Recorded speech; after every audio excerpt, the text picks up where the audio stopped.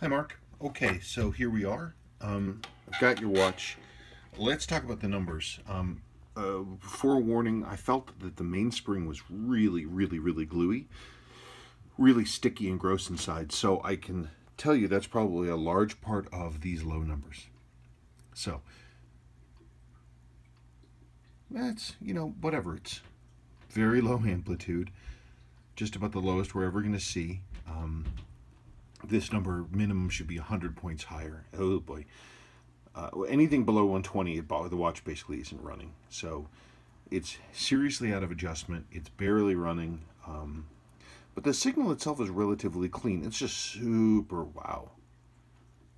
It's just super, super, super duper duper wow. Super weak. Getting weaker by the second. I'm amazed it's still running. Boy, that's really low. What this number is, this is the amplitude. This is how far back and forth the balance is turning. That tells us how much power is making it in and out of the mainspring uh, down through the gear train to the pallet fork. And the answer here is not a lot. Um, but again, your mainspring feels like it's filled full of Elmer's glue. Uh, I'm sure it's incredibly dirty. But all that said, the rest of the watch actually cosmetically is good. Uh, the case looks nice. The movement looks bright. It has a ton of wear to the mainspring arbor port. Nice long bracelet. Look at that. Yeah, weird.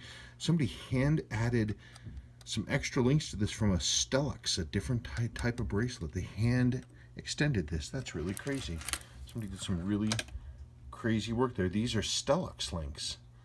They used to extend the standard ones. You can see the different thickness. That's standard American Seiko or standard issue Seiko, and it's Stellux right there.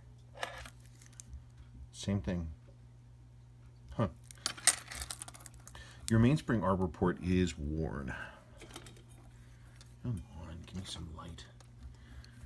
If you look right here at this screw head,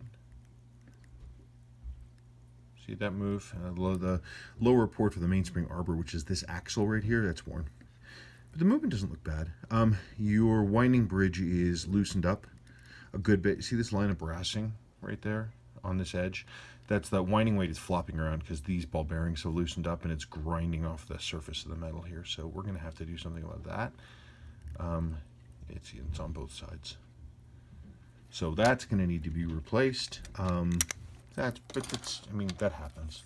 Seiko went with ball bearings instead of a, a friction fit like a lot of the Swiss things, and that's what we get. Um, the watch also has, as you know, it's not turning over the day date at all. As I'm adjusting the time, I can feel it clicking every 25 seconds or so of indicated time, and the date's not turning over at all. So there's probably your plastic intermediary wheel between the, the hour wheel and the date driving wheel is probably bad. It probably has a bent tooth, and that's just garbage. Eh, whatever. Um, Uh, that quick set doesn't want to push in either. So it's going to need some love. But your chronograph wheel is good. Your dial is very pretty, and it's the blue. You've got the good blue dial. You've got the the blue black, not the green blue uh, dial color. Your indicator ring is slightly faded, but not bad. Good white lume. Nice, nice red hands. This watch will look really nice when it's done. It'll be a good looking watch when we're done, but it's got to uh, it's got to be serviced, which of course you knew, but Yep, got to be serviced, but that's a good watch. It's going to be a challenge to see what's up with everything, but it's straightforward. It needs lower mainspring arbor port repair. Needs to be serviced. The barrel is stuffed full of old grease. Uh, it has, I'm sure, a bad intermediary wheel in the calendar, and it needs all the other stuff, case rebuild with seals, crystal, cleaning, and that kind of stuff. Um, I don't know if you want to leave this bracelet the way it is. You certainly can. Somebody did this a long time ago.